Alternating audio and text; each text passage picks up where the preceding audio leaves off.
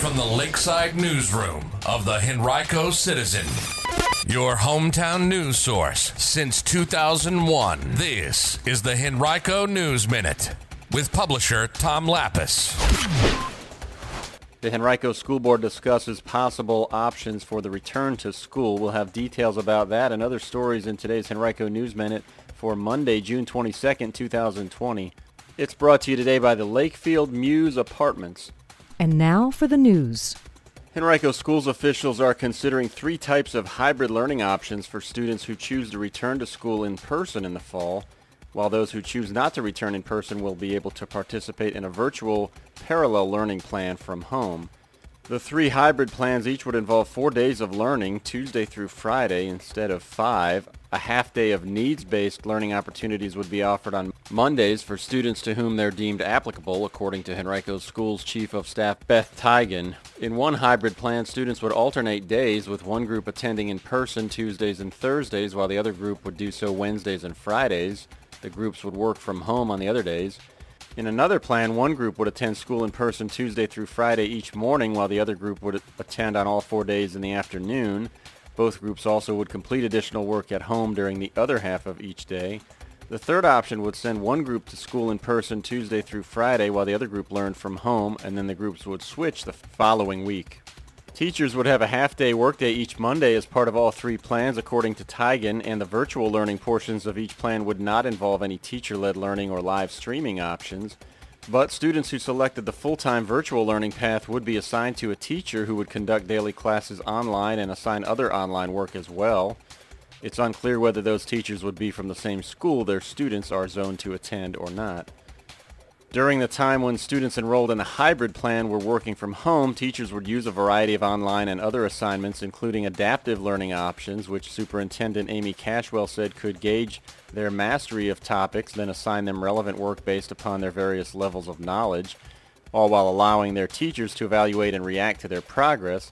The school system is using some of the roughly $9 million it's receiving as part of the Federal CARES Act to purchase adaptive learning programs. Now, Cashwell said none of the plans are set in stone. In fact, the school system is planning to send a survey out this week to its stakeholders seeking further input about these options and maybe other ideas from respondents. At some point during a follow-up survey, they will ask families to designate their intention for the coming school year, according to Cashwell, so that the division can solidify its plans. Whatever those plans end up being, the return to in-person learning will look different School officials are planning to have all staff members undergo daily temperature checks when they arrive to school, and they're asking them to wear masks whenever they are within six feet of students. Six feet of distance also will be maintained on school buses, in hallways, and in classrooms. That's one reason that the tentative plans for in-school learning call for only half the school to be in attendance at a given time. You can read much more about this topic on henricocitizen.com by clicking on Education. Well, the school board and board of supervisors will meet jointly tomorrow evening at 5 p.m. at Glen Allen High School to discuss the return to school among other issues. The meeting is open to the public, but social distancing requirements will be in effect and there will be no opportunity for public comment. On Thursday at the school board's virtual meeting and following the recommendation of Superintendent Amy Cashwell and other school system officials, the school board voted unanimously to begin the 2021-22 school year after Labor Day. The board had been weighing the idea of switching to a pre-Labor Day start, something that school system officials had sought for years but couldn't do because of the so-called Kings Dominion law, which required school divisions to earn individual state approval in order to start before the holiday. Henrico had never earned that permission, but last year the General Assembly repealed the law, giving all school divisions the right to start when they choose. But in part because of the COVID-19 pandemic and its impact on students this summer, and in part because Henrico is opening three updated versions of schools next year, board members opted for a post-Labor Day start for at least one more year. The new additions of Highland Springs and Tucker High Schools as well as a vastly expanded Holladay Elementary are scheduled to open by September 8th, 2021. That's the scheduled first day of school. Officials were hesitant to recommend an earlier start date since those projects are operating on accelerated timelines already and may not be done earlier. Well, also during Thursday's virtual school board meeting, Superintendent Amy Cashwell officially announced a number of personnel appointments. Some of those, including 10 new principal appointments, already were known, but there were several new ones as well. Shady Grove Elementary School Principal Stacy Austin and Fair Oaks Elementary School Principal Candace Wilkerson will become the school system's directors of elementary school education.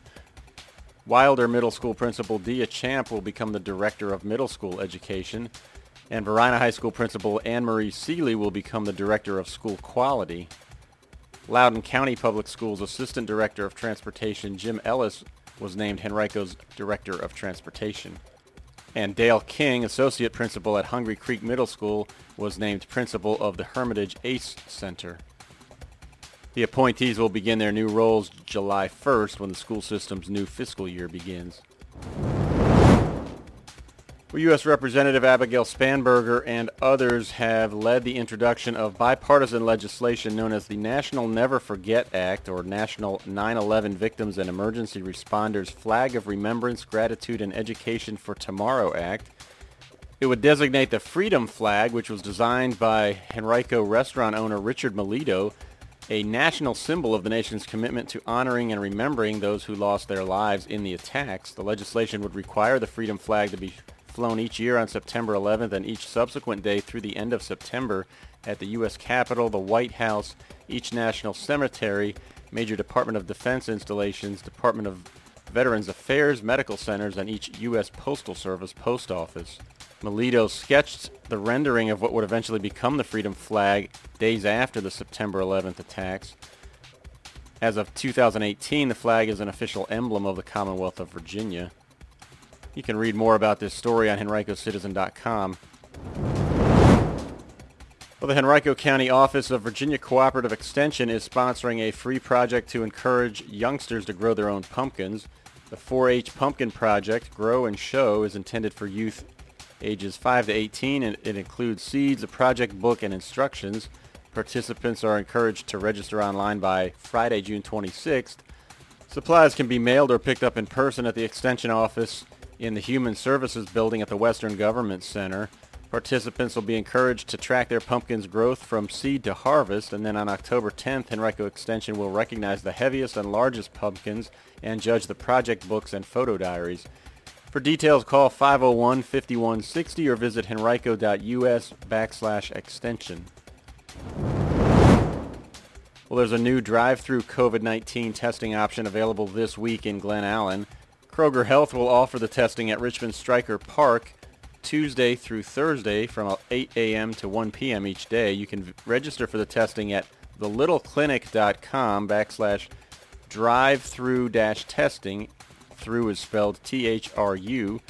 And if you're eligible, you can select the testing date and time. Testing will be conducted through a self-administered nasal swab. Also this week, the Henrico Health Department will host a COVID-19 community testing event from 9 a.m. to 11 a.m. on Thursday at the Eastern Henrico Recreation Center.